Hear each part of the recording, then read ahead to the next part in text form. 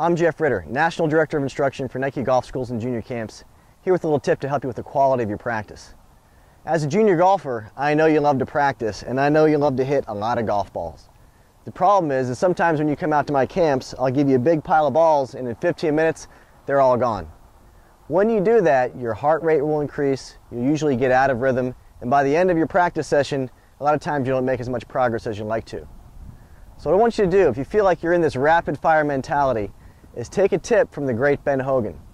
What Ben Hogan used to do is he would actually take 20 balls, and while he was practicing, he would take his time and he would pay very close attention to detail, working on one specific thing that he felt was going to improve the quality of his ball striking.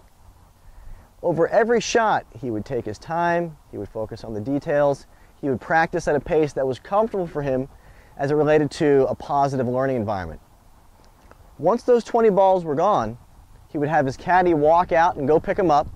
And during that time, he would sit down on a bench and he would think about the quality of his practice. Was he meeting his goals? Was he practicing and executing the way he intended when he walked out to the golf course? Once the caddy came back, he would stand back up refreshed and renewed, and he would go through the same process again.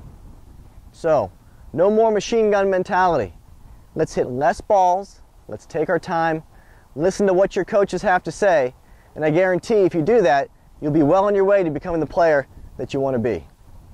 This summer, join me and my staff of dedicated junior golf leaders in Monterey, California for Nike Junior Golf 2012.